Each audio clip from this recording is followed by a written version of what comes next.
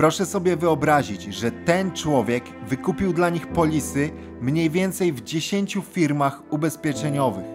Mało tego, te umowy zostały w taki sposób sporządzone, że w przypadku zgonu tych panów wszystkie pieniądze z tych paru polis miał otrzymać właśnie Maciej B. Musicie wiedzieć, że te cztery zgony to jeszcze nie wszystko. Hej, cześć drodzy widzowie, witajcie w kolejnym odcinku na moim kanale. Na samym początku chciałbym podziękować za praktycznie 30 tysięcy subskrypcji. Jeszcze końcem stycznia mówiłem, że chciałbym zdobyć 10 tysięcy subów do końca roku, więc ten wynik jest dla mnie po prostu spełnieniem marzeń i czymś niesamowitym. Oczywiście, jeżeli jeszcze nie subskrybujesz mojego kanału, to będzie mi miło, jeżeli właśnie w tym momencie to zmienisz. Zapraszam także na mojego Instagrama i przypominam, że moją twórczość można wspierać także finansowo na zrzutce lub patronajcie. Linki wyświetlą Wam się teraz gdzieś na ekranie, ale znajdziecie je także w opisie oraz w przypiętym komentarzu gdzieś u góry pod tym filmem. Temat dzisiejszego odcinka jest wyjątkowo tajemniczy, ponieważ mamy tutaj do czynienia ze sprawą, gdzie logika mówi, iż pewien przedsiębiorca potencjalnie mógł przyczynić się do śmierci kilku osób. Jednakże, pomimo tego, że na pierwszy rzut oka wina tego człowieka może wydawać się taka niemalże pewna, to brakuje jednoznacznych dowodów, by obciążyć wspomnianego przedsiębiorcę konkretnymi zarzutami. W tym filmie chciałbym się wspólnie z Wami zastanowić, czy jest możliwe, że doszło do tak wielu niekorzystnych zbiegów okoliczności, czy bardziej doszło do kilku zbrodni doskonałych. Byli zatrudnieni jako specjaliści od nieruchomości. Brzydko powiem, no nie wyglądali też tak na, na fachowców, tak? W jakiejkolwiek dziedzinie. No źle wyglądali po prostu. Generalnie rzecz biorąc, no to były osoby, które były mocno uzależnione. Pił ten, ten koń do dezynfekcji napój, także aż do tego się posuwał. Tak? To był też taki alkoholik dobry tu. Cała historia rozpoczyna się w 2020 roku. To właśnie wtedy Maciej B., przedsiębiorca z Torunia, który zajmuje się handlem nieruchomościami, zatrudnia sześciu pracowników, którzy mają być w jego firmie takimi przedstawicielami handlowymi. Dokładnie do obowiązków tych pracowników ma należeć wyszukiwanie korzystnych ofert zakupu nieruchomości, no, które nadają się potem do tego, by je kupić, a następnie sprzedać w zawyżonej cenie. Myślę, że chyba wszyscy wiedzą, czym taki przedstawiciel handlowy mniej więcej się zajmuje. Jednak w tym miejscu zastanówmy się, jakie cechy powinien posiadać pracownik na takim stanowisku w tak poważnej branży. Kwestia doświadczenia jest oczywiście nieobowiązkowa. Pracownika można wysłać na szkolenie, nauczyć od zera, jak prowadzić rozmowę jak tym wszystkim się zajmować. Jednak taki przedstawiciel handlowy powinien swobodnie rozmawiać poprawną polszczyzną. Jego zasób słów musi być w miarę rozbudowany, by wzbudzać zaufanie oraz by prowadzić takie wstępne negocjacje współpracy. Oczywiście musi także być zadbany wizualnie, czysty, najlepiej elegancko ubrany. No ciężko sobie wyobrazić, by pośrednik w branży nieruchomości wyglądał jakoś niechlujnie, śmierdział alkoholem i żeby jeszcze tam przeklinał prowadząc rozmowy biznesowe. No i tutaj pojawia się pierwszy zgrzyt, ponieważ pośród tych sześciu pracowników zatrudnionych przez Macieja B było dwóch bezdomnych uzależnionych od alkoholu. Polsat News dotarł w 2021 roku do pracowników schroniska dla bezdomnych, w którym ci przedstawiciele handlowi pomieszkiwali i ci pracownicy byli w szoku, kiedy usłyszeli, że tych dwóch panów w ogóle gdzieś było zatrudnionych. Z ich słów dowiedzieliśmy się, że te osoby pracujące dla pana Macieja były w maksymalnym stadium uzależnienia od alkoholu. Rzekomo ci panowie spożywali nawet płyny do dezynfekcji. Proszę sobie wyobrazić cały zarys tej sytuacji. Przedsiębiorca działający w branży nieruchomości zatrudnił w swojej firmie jako przedstawicieli handlowych osoby bezdomne, osoby uzależnione od alkoholu bez żadnego doświadczenia w tej branży. Ponadto ci panowie pomieszkiwali w noclegowni, nie mieli oni by nawet e, za bardzo fizycznie możliwości, by wyszukiwać jakieś korzystne oferty, no bo jest naprawdę mała szansa, by posiadali tam na przykład dostęp do laptopa i internetu. Samo w sobie to już jest dziwne, jednakże prawdziwe podejrzenia wzbudza fakt, iż pierwszy z tych zatrudnionych pracowników po dwóch tygodniach od zatrudnienia trafił do szpitala, gdzie niestety zmarł. Jakiś czas później identyczny los spotkał także tego drugiego zatrudnionego bezdomnego. No ale okej, okay, pewnie się zastanawiacie, jaką korzyść ze śmierci tych panów miałby ich szef. Okazało się, że ogromną, ponieważ Maciej B. dał tym pracownikom do podpisania umowy z paroma ubezpieczalniami. Proszę sobie wyobrazić, że ten człowiek wykupił dla nich polisy mniej więcej w 10 firmach ubezpieczeniowych. Mało tego, te umowy zostały w taki sposób sporządzone, że w przypadku zgonu tych panów wszystkie pieniądze z tych paru polis miał otrzymać właśnie Maciej B.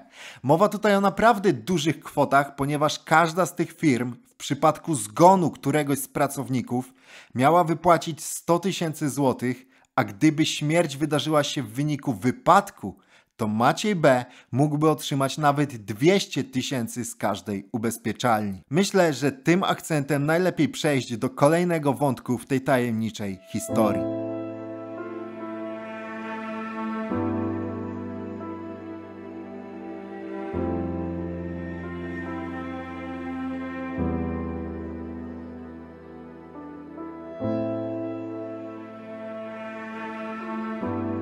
28 listopada 2020 roku pewien mężczyzna jadąc swoim samochodem zauważył jak tuż obok jezdni płonie wrak samochodu. Tego pana od razu zdziwiło to, że ten pojazd leżał przewrócony przy takim bardzo łagodnym zakręcie. No niby na pierwszy rzut oka wyglądało to tak jakby ten samochód wypadł z drogi, ale z drugiej strony logika od razu mówiła, że aby wypaść z jezdni, na tym odcinku musiałby się zdarzyć jakiś nieszablonowy splot zdarzeń. No nie wiem, na przykład kierowca musiałby zasłabnąć lub y, coś musiałoby go rozkojarzyć. Oczywiście ten mężczyzna od razu zadzwonił na numer alarmowy, przyjechała straż pożarna i wtedy się okazało, że w środku tego auta znajdują się dwa doszczętnie spalone ciała. Ofiarami okazał się 25-letni Rafał K. i 45-letni Sławomir Eś. Jak się zapewne już domyślacie, obaj ci panowie zostali chwilę przed tym zdarzeniem zatrudnieni przez Macieja B. i ubezpieczeni w wielu ubezpieczalniach. Mało tego, auto, w którym mężczyźni zginęli, należało do firmy pana Macieja. Był to służbowy Matis, którym Rafał K. i Sławomir Eś jechali po raz pierwszy. Ciała tych mężczyzn były spalone w bardzo dużym stopniu. Jak ustalił redaktor interwencji, w protokole z sekcji zwłok znalazł się następujący zapis. Określenie bezpośredniej przyczyny zgonu w przypadku zwłok poddanych wysokiej temperaturze płomienia jest znacznie utrudnione, a niekiedy wręcz niemożliwe. Ponadto musicie wiedzieć, iż biegli ustalili, że ten samochód albo jechał bardzo pomału i wypadł z drogi, albo nie jechał wcale, tylko stał w miejscu i ktoś go po prostu zepchnął. Świadczy o tym fakt, że uszkodzenia auta były niewielkie. Przy tym łuku jezdni były krzaki, były drzewa. Gdyby ci mężczyźni jechali szybko i wylecieliby z drogi, to pojazd byłby zniszczony w dużo większym stopniu. Rodzice tego 25-letniego Rafała mówią wprost, że ich syn został zamordowany. No nie ma co się dziwić, ponieważ podsumujmy jeszcze raz tą całą sytuację. Tym razem także z uwzględnieniem tego wypadku. No sami zobaczcie, jak to wygląda. Maciej B. zatrudnia sześciu pracowników, którzy nie mają nic wspólnego z branżą, w której działa jego firma. Mało tego, dwóch z tych pracowników to bezdomni z problemem alkoholowym.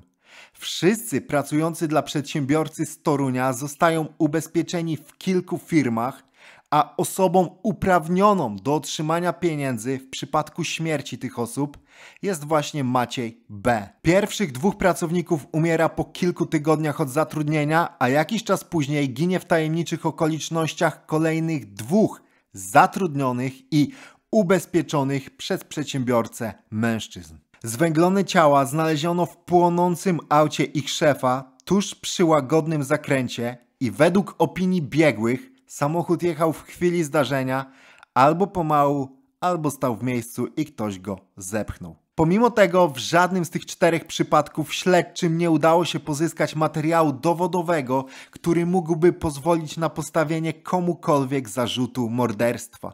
Mamy więc sytuację, w której albo doszło do kilku zbrodni idealnych, albo mamy przypadek, gdzie wydarzyło się wiele nieprawdopodobnych zbiegów okoliczności. Jednakże chyba nikt zdrowo myślący nie uwierzy w to, że te zdarzenia były sumą przypadków, ponieważ o ile w teorii mogło się zdarzyć, że dwóch pracowników umarło z jakichś powodów zdrowotnych, a pozostałych dwóch zginęło w wypadku samochodowym, tak w tym przypadku są kwestie, których racjonalnie no, nie da się uargumentować. Przykładowo, który przedsiębiorca zatrudnia w tak poważnej branży bezdomnych z problemami alkoholowymi?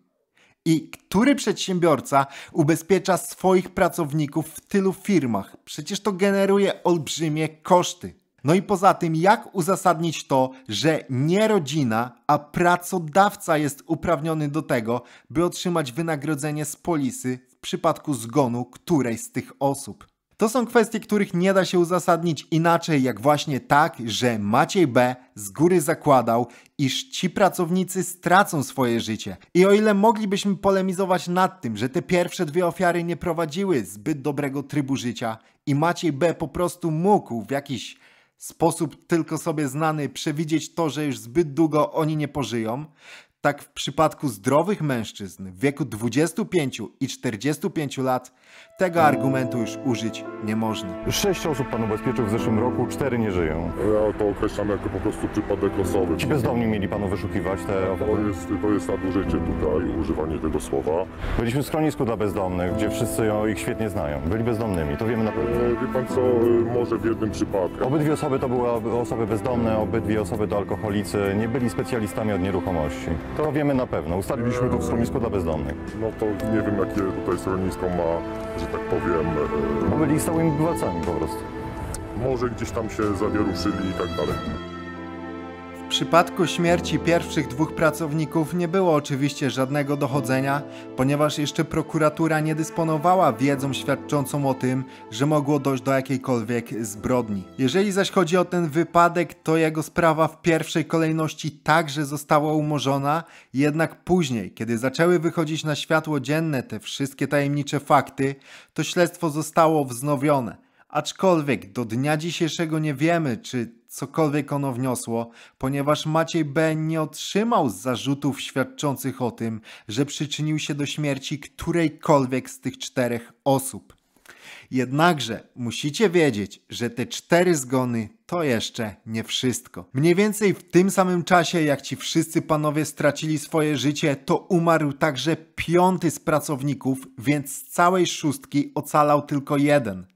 Na temat tego piątego mężczyzny wiemy niewiele, jedynie to, że zmarł w swoim własnym mieszkaniu, jednak jakie były dokładne okoliczności zgonu pozostaje dla nas, czyli dla osób bez względu do akt sprawy, zagadką. Aczkolwiek wyobraźcie sobie, że pracownicy Macieja to nie były jedyne osoby, które on w taki sposób ubezpieczał. W 2018 roku przedsiębiorca kupił mieszkanie od schorowanej, starszej kobiety, która po prostu cierpiała na poważne zaburzenia psychiczne i nie była do końca świadoma otaczającej ją rzeczywistości. Kiedy rodzina tej kobiety dowiedziała się o tym, że ta pani zgodziła się sprzedać mieszkanie, natychmiast próbowali interweniować i podważać umowę, argumentując to tym, że kobieta nie była świadoma, co podpisuje. Niestety, na nic się to nie zdało, ponieważ sąd stwierdził, że ta umowa jest ważna. Istotne jest także to, że w tych papierach był taki zapis zezwalający tej kobiecie na to, by mieszkała jeszcze przez rok w swoim mieszkaniu i co ważne, ona nie dostała z góry pieniędzy za sprzedaż nieruchomości, ponieważ Maciej B. miał jej płacić pieniądze w ratach. Jednak jak twierdzi rodzina, on jej wcale nie płacił, a podtykał tej kobiecie pod nos do podpisu pokwitowania otrzymania zapłaty. A że ta kobieta, mówiąc kolokwialnie, nie ogarniała rzeczywistości, to nawet nie do końca wiedziała, co podpisuje. Ponadto, tak samo jak w przypadku tych pracowników, mężczyzna ubezpieczył kobietę i jeżeli doszłoby do jej śmierci, to pieniądze z polisy miały trafić właśnie do niego. Oczywiście kobietę spotkał dramatyczny los, ponieważ kilka dni przed Bożym Narodzeniem, a dokładnie to 20 grudnia 2021 roku, w środku nocy w jej mieszkaniu wybuchł pożar. Pokój tej kobiety spłonął doszczętnie i niestety ta pani nie miała żadnych szans na przeżycie. Wtedy był to już moment, gdy po cichu prokuratura przyglądała się działalności pana Macieja, więc kiedy do tego pożaru doszło i kiedy okazało się, że była to kolejna osoba ubezpieczona przez przedsiębiorcę, to natychmiast on został aresztowany, a zgromadzony materiał pozwolił zastosować areszt tymczasowy.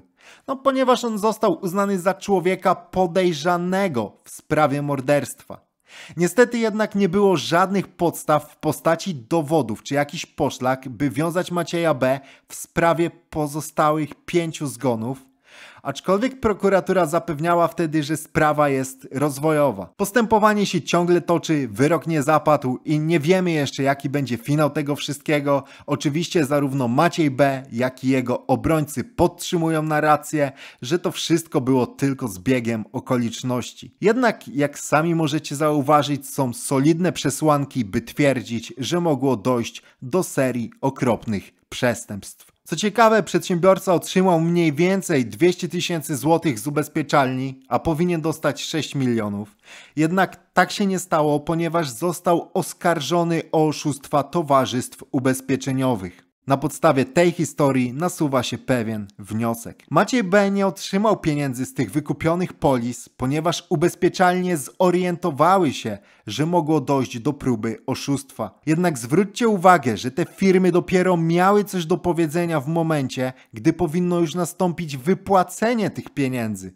Nikt nie interweniował w momencie, gdy jakiś mężczyzna ubezpieczał pracowników w tak wielu firmach i wskazywał siebie jako osobę, która w przypadku ich śmierci miałaby otrzymać pieniądze. Jeżeli istnieje fizycznie możliwość zrobienia czegoś takiego, to tutaj nasuwa się pytanie, czy Maciej B. aby na pewno jest jedynym człowiekiem w Polsce, który wpadł na pomysł takiego działania. Czy może jest jedynym człowiekiem, któremu zamierzony cel się nie udał? I Husz nie zaliczył porażkę. Oczywiście, wypowiadając te słowa, zakładam, że nie były to zbiegi okoliczności, ale oczywiście Maciej B. nie został skazany, więc mogę właśnie tylko zakładać, a nie jednoznacznie stwierdzać.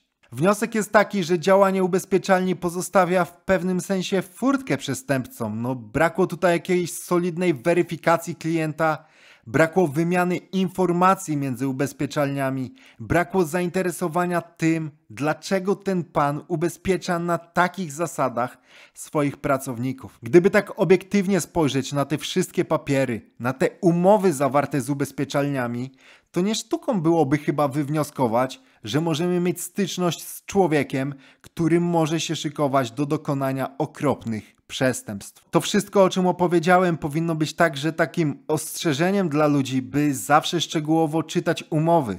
Przedsiębiorca umawiał się na podpisywanie dokumentów z pracownikami, m.in. w samochodzie na parkingach pod galeriami handlowymi.